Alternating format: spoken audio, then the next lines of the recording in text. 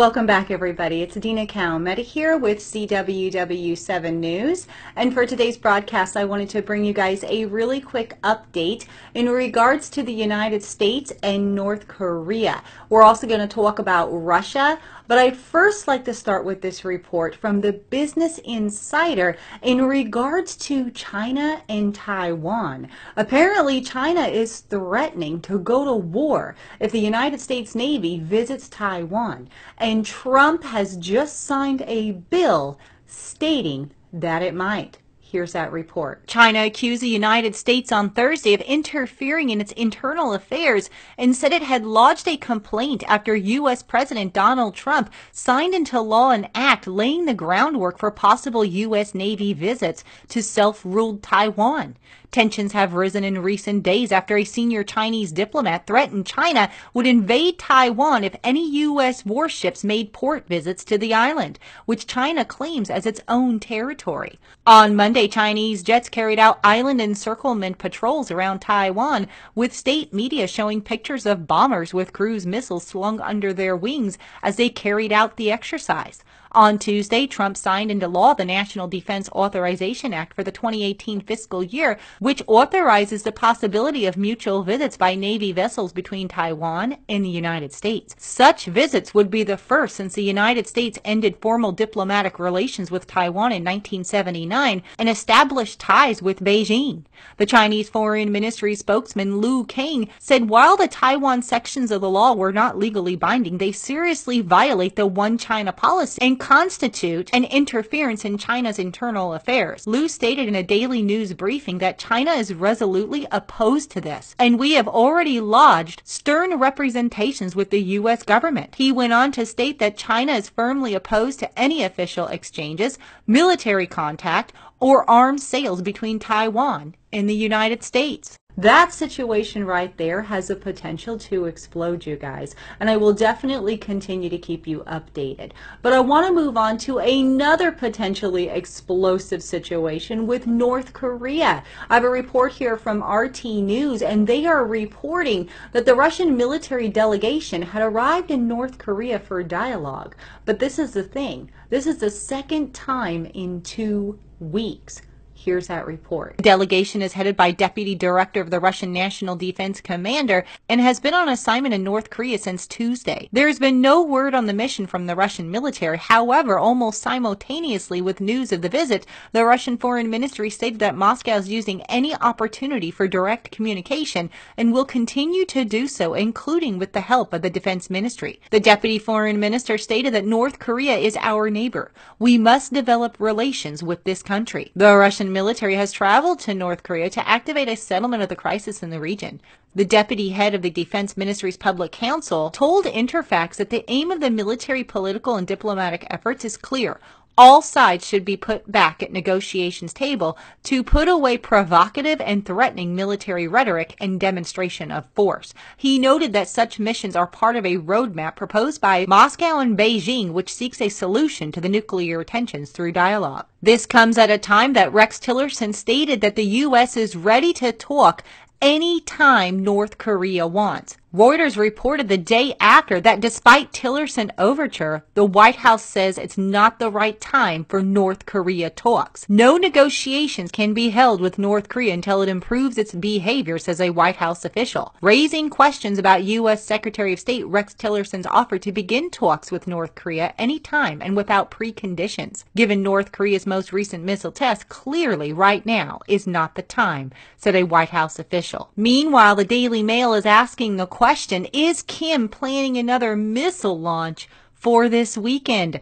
Experts fear North Korean leader will carry out new tests to mark the anniversary of Kim Jong il's death. A Washington, D.C. think tank has warned of potential weapons of mass destruction activities in North Korea, with December 17th seen as a possible date for a new ballistic missile test. Previous North Korean dictator Kim Jong il died on that date in 2011. In the past, North Korea has used these dates with rocket tests and military drills. In research released in late November, the respected Center for Strategic and International Studies said date analysis showed elevated chances for provocations by the secretive nation within four weeks. Meanwhile, Kim Jong un vowed to develop more nuclear weapons on Tuesday while personally decorating scientists and officials who contributed to the development of North Korea's most advanced intercontinental ballistic missile, the Hwasong 15. Kim Jong un said on Tuesday the scientists and workers would continue manufacturing more latest weapons and equipment to bolster up the nuclear force in quality and quantity. And Reuters is reporting that North Korea on Thursday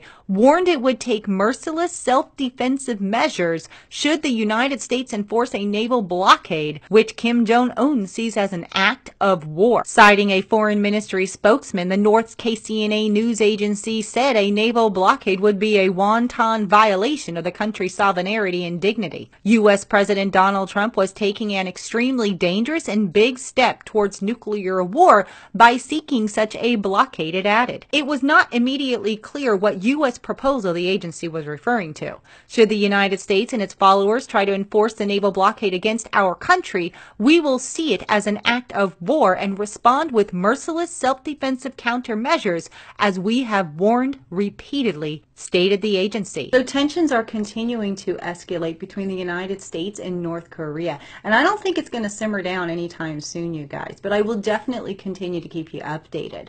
But speaking of nuclear, I have a report here from the Washington Free Beacon, and they are reporting that Russia has sharply expanded their nuclear arsenal and are also upgrading underground facilities. Here's that report. Russia is aggressively building up its nuclear forces and is expected to deploy a total force of 8,000 warheads by 2026, along with modernizing deep underground bunkers, according to Pentagon officials. The 8,000 warheads will include both large strategic warheads and thousands of new yield and very low yield warheads to circumvent arms treaty limits and support Moscow's new doctrine of using nuclear arms early in any conflict. In addition to expanding its warheads, Russia also is fortifying underground facilities for command and control during a nuclear conflict. It goes on further to state the new assessment also suggests Russia is planning to blend its conventional forces with nuclear forces in future conflicts,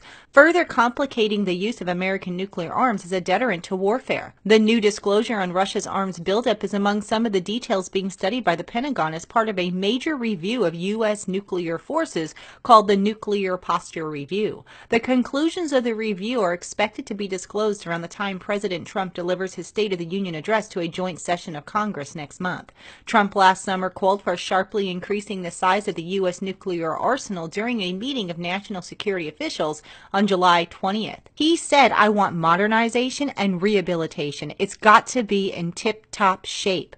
The current posture of U.S. nuclear forces was set by then President Barack Obama in 2010 review that called for reducing the role of nuclear weapons in the size of the arsenal. It goes on even further to state that the Pentagon's new posture review is based in part on a reversal of the outdated Obama era assessment.